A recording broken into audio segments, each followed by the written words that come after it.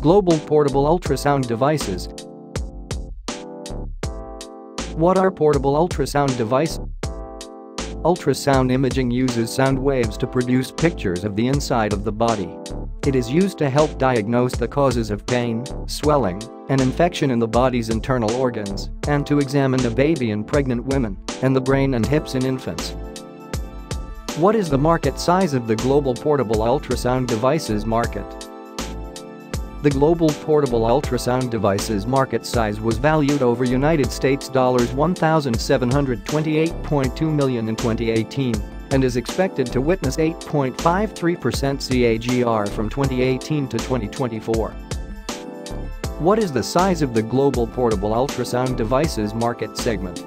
The global ultrasound device segment was valued over United States dollars 1,064.4 million in 2018 and expected to grow at a CAGR of 8.20% between 2018 and 2024.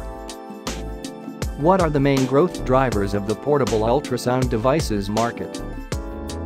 Increasing prevalence of chronic diseases is the main driver that helps the growth of the market. What are the restraint and opportunity on the portable ultrasound devices market forecasts? Low awareness and regulatory restrictions in developing economies is the restraining factor that hampers the growth of the market and adoption of portable ultrasound devices in low and middle income countries are the significant opportunity that helps in the growth of the market. Which is the largest regional market for portable ultrasound devices? North America is the largest regional market for portable ultrasound devices followed by the Asia-Pacific region. Want to know more about this market? Visit our website